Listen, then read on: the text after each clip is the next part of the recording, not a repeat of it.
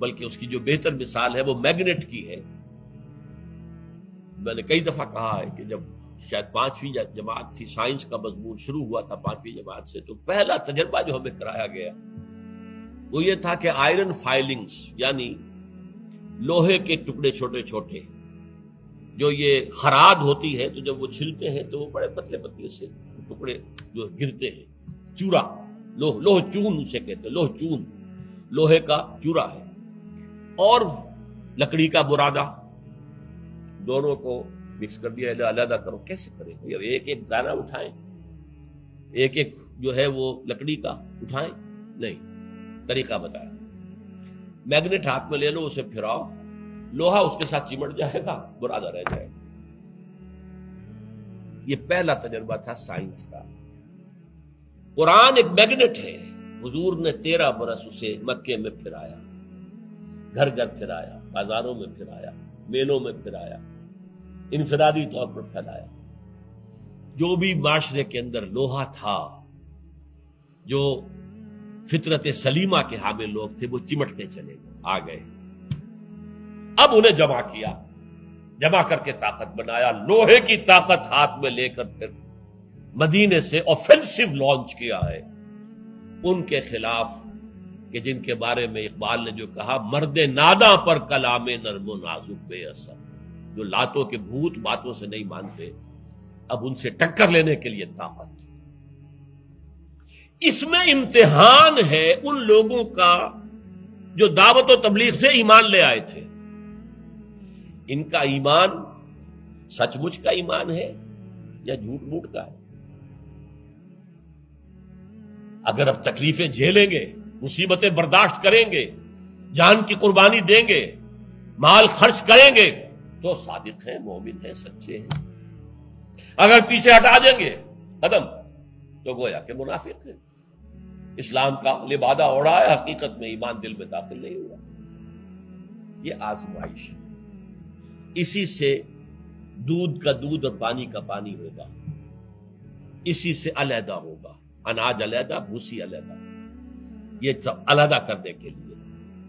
तो ये, अब देखिए वही वजह। यहाँ जो फरमाया, वो अंजल हदीद हमने लोहा भी उतारा। फ़ी बासुन शदीद। उसमें जंग की सलाहियत है, शिद्दत के साथ। वो मुनाफिनास और लोगों के लिए कुछ और मनफातें भी हैं। वले यालम अल्लाह बिलगैब और ताकि अल्लाह देखे। हम इसको इल्म से नहीं कहते, इसलिए कि इल्म तो अल्लाह को हमेशा से हासिल है। अल्लाह को मालूम है किसके अंदर ईमान है, किसमें नहीं है। लेकिन वो ज़ाहिर कर देना चाहता है, किसमें ईमान है, किसमें नहीं है। अल्लाह के तो इल्म में है। लेकिन वले आलम अल्लाह अल्लाह ज़ाहिर कर दे। कौन है उसके वो वफादार बंदे? मैं यंसोरो हूँ जो मदद करते हैं उसकी। वह रसोला हूँ और उसके रसूलों की। बिल गैब गैब में रहते हुए। अल्लाह हमारे सामने नहीं है। अल्लाह की किताब हमारे सामने है। उसमें मीजान मौजूद है, उसमें दीन हक मौजूद है। कौन है जो उसको कायम करने के लिए सर हथेली पर रखकर मैदान में आए अगर अल्लाह का दीन कायम करोगे तो अल्लाह के मददगार हो गए। देखिए, अगर किसी बादशाह के खिलाफ बगावत हो जाए और आप फिर उस बादशाह की हुकूमत रेस्टोर करने के लिए मैदान में आए, बागियों से लड़े तो आप बादशाह के मददगार हो गए कि नहीं? बादशाह की मदद की है, मददगार है। अच्छा और चूँकि रसूलों का काम यह है कि आदल कायम करे, लिहाजा रसूलों के मददगार हो गए ये दो के मददगार हो गए।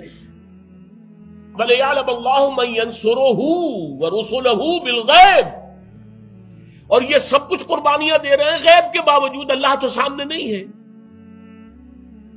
सहाबा के सामने हुजूर मौजूद थे, आज अगर हम ये जिद्दोजहद करते हैं तो हुजूर हमारे सामने तो मौजूद नहीं है।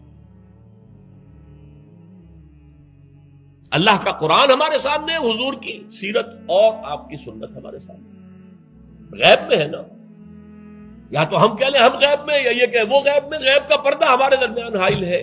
गैब में होने के बावजूद जो अल्लाह की मदद करे और अल्लाह के रसूलों की मदद करे, अल्लाह छांट लेना चाहता है। कौन है वो? बोले यालम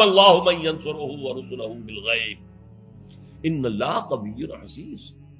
वैसे अल्लाह को किसी की मदद की एहतियात नहीं है। अल्लाह तो कवि है, अज़ीज़ है, अल्लाह कुल शैन कदीर है। आने वाहिद में कुफर खत्म कर दे। आने वाहिद में पूरी दुनिया के इंसान अबू बकर सिद्दीक जैसे मोमिन बना दे। क्या अल्लाह के लिए मुमकिन नहीं है? आने वाहिद। इन अल्लाह कवी अज़ीज़ यकीन अल्लाह ताला तो कवि है, अज़ीज़ है, ज़बरदस्त है कुत वाला है। लेकिन वो अपने चाहने वालों का इम्तहान ले रहा है। ये हम सूर्य कबूत में पढ़ चुके हैं।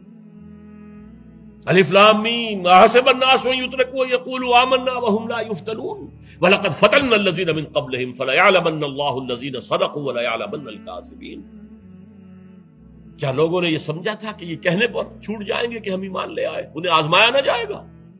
हमने हमेशा आजमाया। जिसने कहा कि मैं ईमान लाया अल्लाह पर, हमने उसे इम्तहान में डाला, आजमाया। ये सचमुच का हमारा शहदाई है और आशिक है। या झूठ मूठ का आशिक। है दूध पीने वाले मजनू है या हकीकी मजनू?